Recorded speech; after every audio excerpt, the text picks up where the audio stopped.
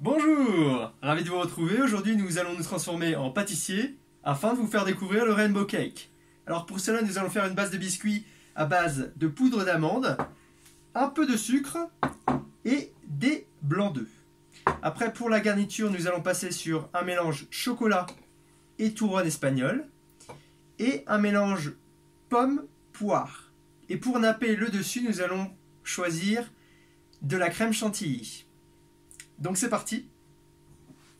Donc nous allons d'abord commencer par mélanger la base du biscuit. Pour cela, nous prenons un saladier avec un fouet. Alors c'est parti, on prend la poudre d'amande qu'on met sur le fond, on rajoute le sucre, pas beaucoup puisque euh, la garniture va être pas mal sucrée. Euh, Le verre était un peu humide, du coup ça a collé. Intéressant. Ok, on est bien. Du coup, on mélange le sucre et la pâte d'amande. C'est bon. Et on va rajouter le blanc d'œuf afin d'obtenir une pâte qui un peu collante. Alors là, j'ai l'impression qu'il va pas avoir assez de blanc d'œuf. Du coup, je vais devoir casser des œufs face à vous. Et bien en effet, c'est ce à quoi je m'attendais. Alors nous sortons un œuf en plus et on va casser. Ah, ça marche pas. Ma tête n'est pas assez dure. Hop, hop, hop. C'est un peu long comme manœuvre. Mais ça va le faire. Se casse. Et on rattrape ça avec euh, brio.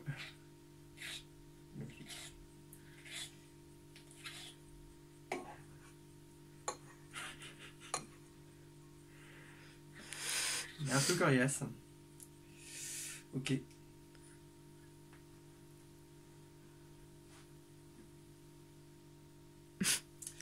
bien parfait, alors on rajoute encore un petit blanc d'œuf.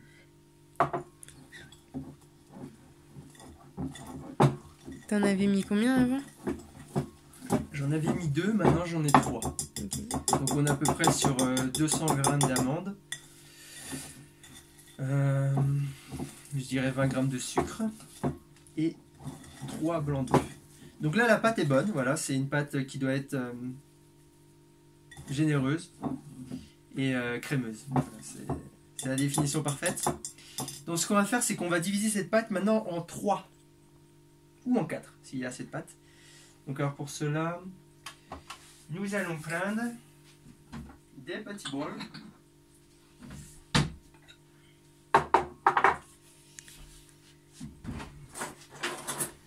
Et cet ustensile.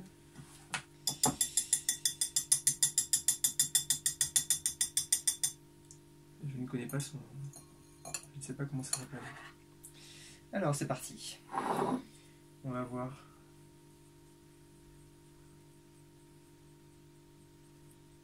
Une spatule en plastique. Spatule en plastique. Parfait, merci. J'ai bugué un peu.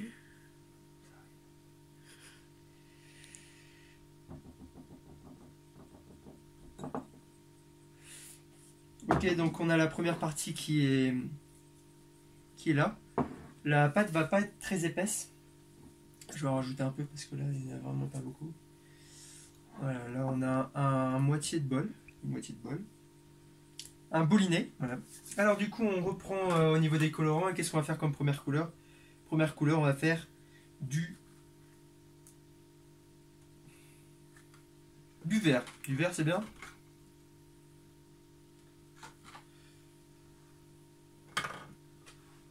Du rose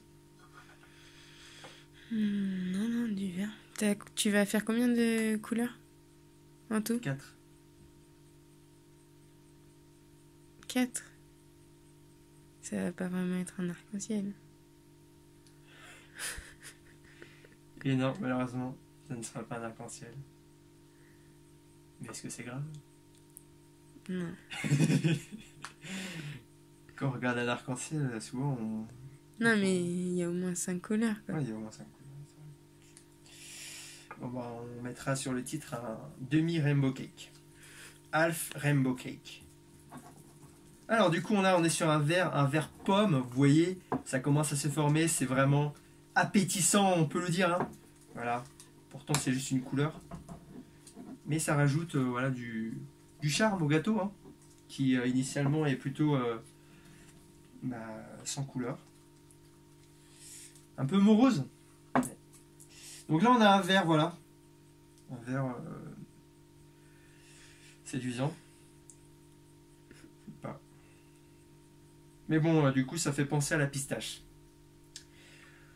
On va essayer de reproduire plusieurs couleurs dans le gâteau afin de, de caractériser des fruits. Si ça vous va. Donc là, on est sur un premier verre. Parfait. On va faire une deuxième part de gâteau. Je crois qu'on n'aura que trois parts.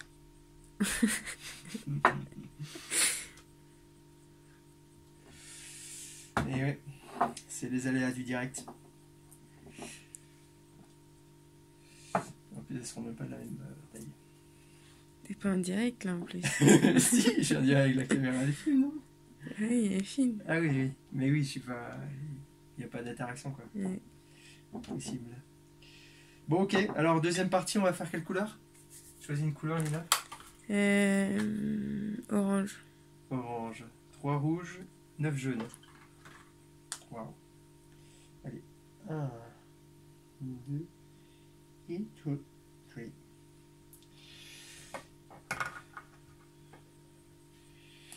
Et 1, 2. Je vais aller trop vite. 3, 4, 5, 6, Je suis pas sûr. Ça va, tu, tu aimes euh, contempler ce qui se passe? Oui, ça va. Tu commences à avoir euh, la salive en- à la bouche? Pas vraiment, non. Pourquoi? Je sais pas, le verre, il me donne un peu envie de vomir. Ah non, merde C'est pas ce que je voulais. Faut qu'il soit plus clair un peu. Je sais pas comment tu peux, qui... tu peux faire. Tu veux dire vermente Ouais. Euh... Oui. Faudrait que je rajoute. euh, Parce que là c'est vert. Sinon il y a vert, pita- vert pistache ou vert menthe. Vert pistache, je rajoute beaucoup de jaune. Vert menthe. euh, Ouais, bah du jaune, je pense. Du bleu. C'est ça, vert menthe. Il n'y a pas de bleu. Est-ce que ça te va pour le orange? C'est un orange plutôt marron? Mm. Mais bon, à la cuisson, ça va être euh, de la même couleur. Donc, euh. bon, le troisième, on va mélanger directement au sein du pot. Alors du coup, tu troisième couleur, on va faire une couleur un peu euh, joyeuse. Qu'est-ce que tu dis du bleu turquoise? Quelque chose de Oui Ouais Ouais, ouais, pas. De jaune, 12 bleu.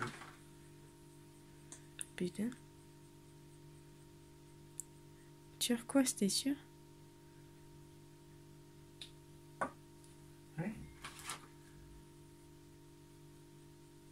De jaune, 12 bleu. Ouais, c'est bon, pardon. 1, 2,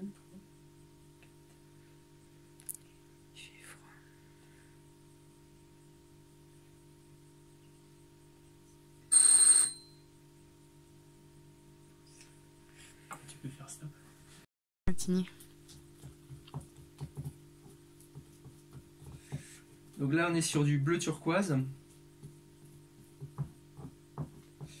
En effet, on est, des- on est sur des couleurs assez, euh, assez foncées quand même. hein. Mais bon, Tu fais voir le bleu? Je rajoute un peu de jaune? Non, non, ça va en soi. Ouais, c'est bien. Et du coup, tu voulais rajouter quoi dans le verre Honnêtement, euh, T'as dit quoi? honnêtement, euh, parti pour le pire, franchement. euh, Bah, on reste sur ça.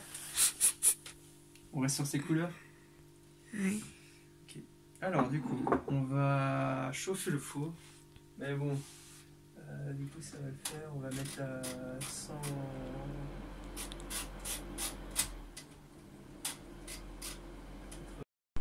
Alors là, j'ai beurré un petit moule. Nous allons euh, cuire euh, l'un après l'autre les différentes bases colorées. Donc, euh, on va commencer avec un four à 180 degrés pendant à peu près une dizaine, quinzaine de minutes parce que du coup la pâte sera assez fine. Et euh, une fois que les trois bases seront faites, je vais pouvoir m'occuper du reste de la garniture. Entre temps, pendant la cuisson, je vais couper euh, les pommes et les poires. Alors là, j'ai coupé la pomme et les deux poires. J'ai rajouté du citron vert par-dessus et je vais faire cuire ça à la poêle avec une noix de beurre jusqu'à que les morceaux soient bien cuits et que ça commence à fondre légèrement. Alors nous revoilà pendant que les fruits sont en train de cuire à la poêle et que la base du biscuit est en train de cuire au four. On va mixer les bouts de touronne et on va faire cuire, on va chauffer, fondre au bain-marie le chocolat. Et dès que les deux préparations seront faites, on va mélanger le tout. Alors du coup on revient avec tous les éléments qu'on a cuits. Déjà les bases de tarte qui n'ont pas très bien résisté puisqu'on peut voir que euh, elles sont découpées en petits bouts. On a fait le mélange chocolat et, et touronne. Et euh, ensuite euh, les pommes euh, avec euh, des bouts de poire et un peu de citron revenus dans le beurre. Donc là on va faire le montage. Donc on met la première base avec le touronne et chocolat qui a durci. Qui est même très dur. Tu veux pas le chauffer un peu Bah c'est compliqué. T'en mets beaucoup là, non? Alors je vais tartiner avec la main, d'une façon très euh, élégante. Histoire de bien tout niquer en dessous.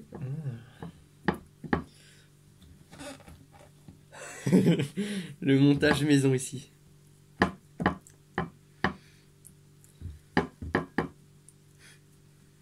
Ça colle un peu. Ah, c'est dommage. Que ça soit dur. On aurait dû attendre. ouais. On aurait dû ouais, chauffer juste au dernier moment peut-être. Mm. Bon, en tout cas, là, le chocolat, il est bien mis. Je pense que c'est bon. Ok.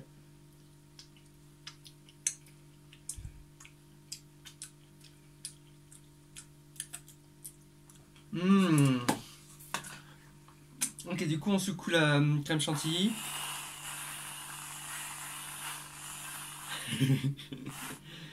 on se fait plaisir. On va étaler un peu. on va éviter d'étaler trop. Ça ressemble plus à rien. Ok. ouais, ça se fait plaisir. Ouais. On va mettre les petits légumes, les petits fruits, pardon. La poire et la pomme.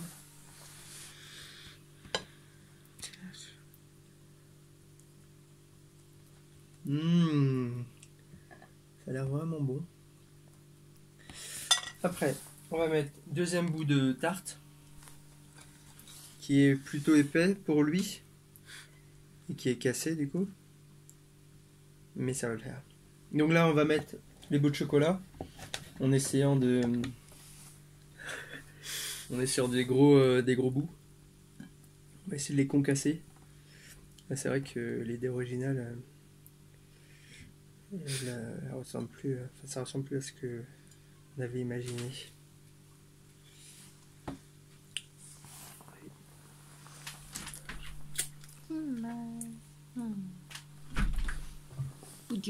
Oh, il est tout mouillé.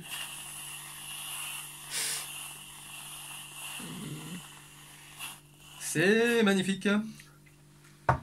Pardon. Donc là,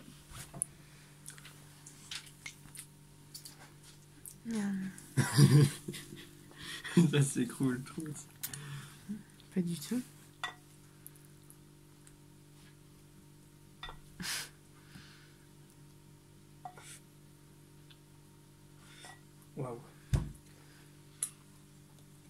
Dernier bout. Tu aurais dû le mettre dans le moule. Hein? Tu aurais dû le mettre dans le moule.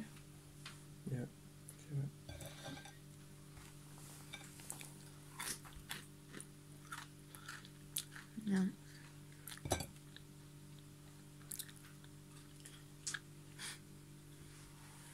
Perfecto.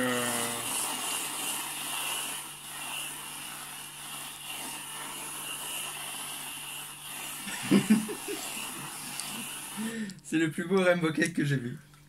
Que j'ai jamais vu. Merci. De rien. Non.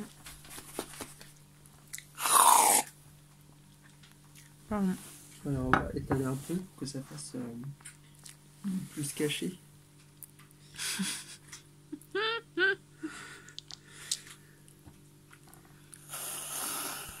Bon, ça donne pas pareil que dans l'émission du meilleur pâtissier. hein. On en est même très loin. Mais au moins on aura essayé. On peut être fier de nous. Et, euh,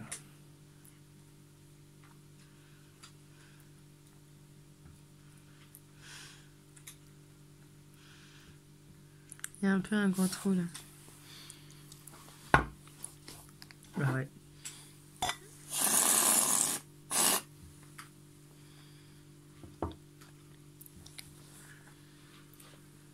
Bah voilà.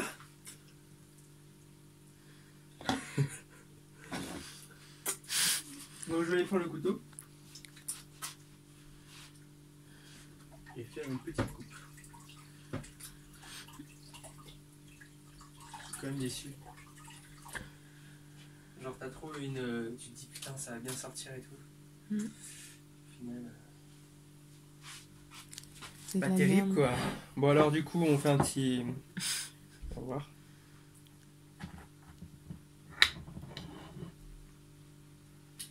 La belle déco.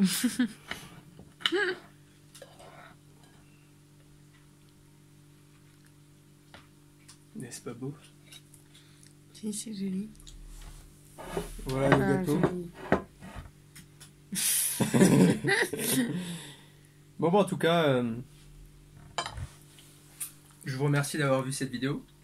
Et si euh, ce gâteau vous donne envie, ce que je ne pense pas trop, euh, bah, vous pourrez euh, le refaire à la maison. Voilà, merci. C'était nous bon appétit. Au revoir. Alors du coup, euh, on a pu euh, goûter euh, le rainbow cake, qui, ne ressemble, pas vraiment à ça en fait. Euh, alors, le, chocolat avec le, le touron, il est devenu dur, du coup il, est pâteux en bouche. Euh, après les fruits, euh, c'est peut-être pas l'union parfaite avec le reste du gâteau. En fait, c'est genre il y a beaucoup de saveurs différentes en un. Du coup, c'est compliqué de vraiment apprécier. Mais après, sinon, c'est quand même bon. Et c'est quand même bien bourratif. Genre, on sent euh, que ça colle euh, à l'estomac. Mais bon, si vous avez envie de le faire, je vous encourage. hein. Ça peut être un test. Après, euh, si vous pouvez améliorer éventuellement quelques facettes de, de la recette, ça sera, ça sera mieux. Voilà, gros bisous